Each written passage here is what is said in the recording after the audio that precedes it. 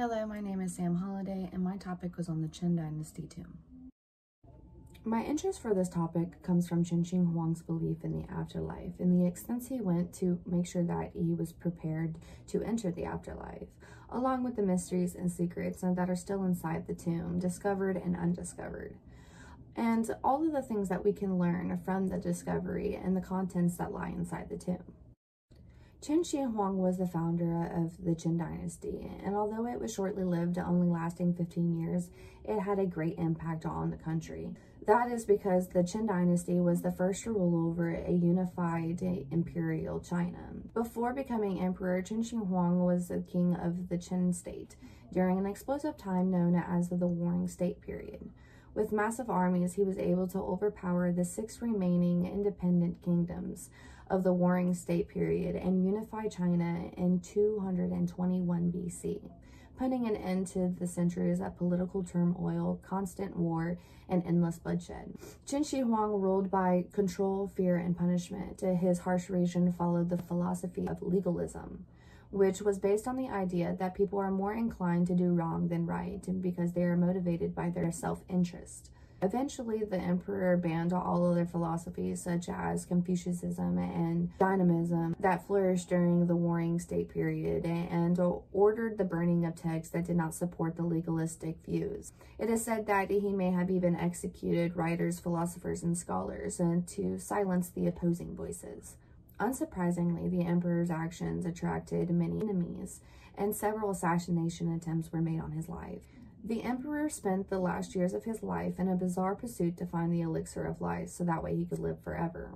Things didn't quite work out exactly as he would want them to in the end, but his actions certainly immortalized him as one of China's greatest rulers. The Qin dynasty was one of the shortest in Chinese history, but was one of the most important. It was marked by a strong sense of unification, critical, technological, and cultural innovations.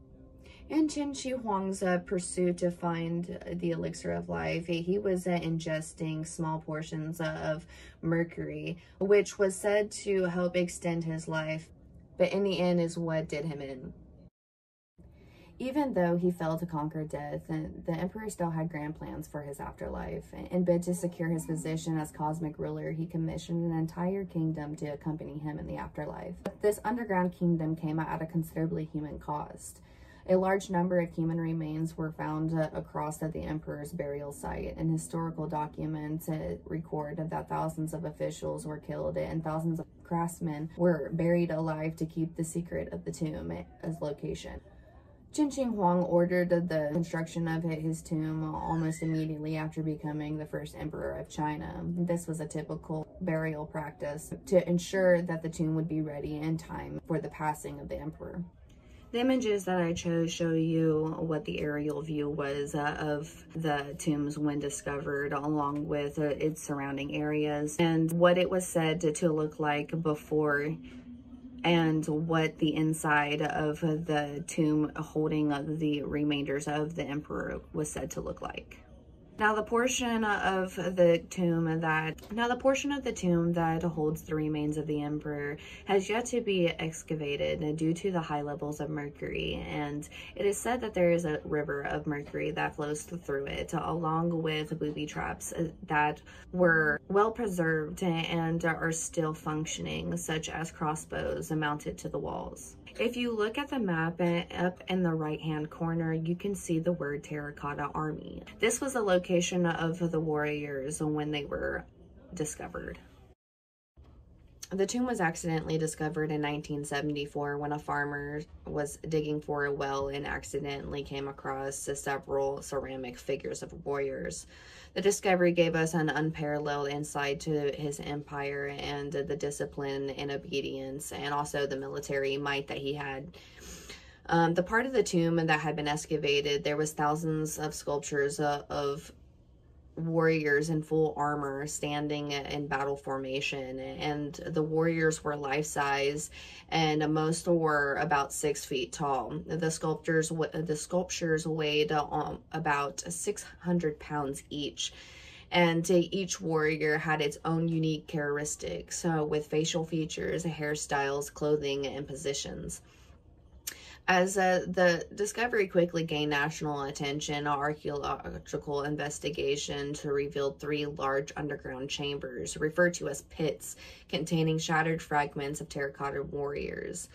These life-size and lifelike uh, ceramic figures depicted warriors uh, with every detail of their dress skillfully rendered and uh, still bearing traces of original paint of the time of discovery. The terracotta warriors looked unlike any tomb figures that had been known before.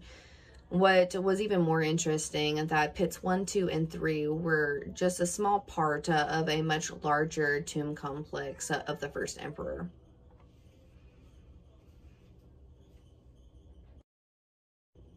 Among these warriors were also horses and bronze chariots which gave us a significant insight on what their traveling style was during the time, along with their incredible craftsmanship in order to make these very intricate designs for the life-size chariots, along with um, horses that were domesticated. And we know this because they're fitted with saddles. So that way individuals uh, could ride them. And they were also fitted with reins so that way they could be attached to the chariots.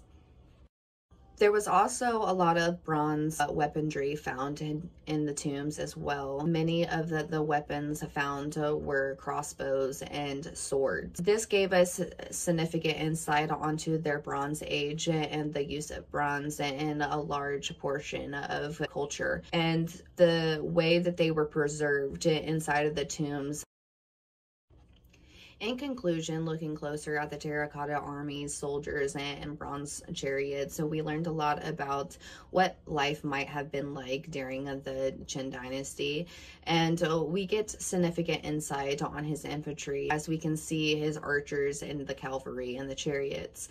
We can learn about how they dressed and what type of hairstyles they had and what type of weapons they used, and we learned what type of paints and pigments were being used during the time as well. And we can also see their bronze work and the knowledge and they had to create these life-like and life-size um, chariots and warriors and horses. And that uh, they were far more advanced in their society with the domestication of the animals uh, such as the horses that were fitted with saddles. There's still so much that can be learned from what is inside of the tombs, discovered and undiscovered, and hopefully in the future we will be able to have the technology to enter the tomb to see if there really is a lake of mercury surrounding the emperor's remains.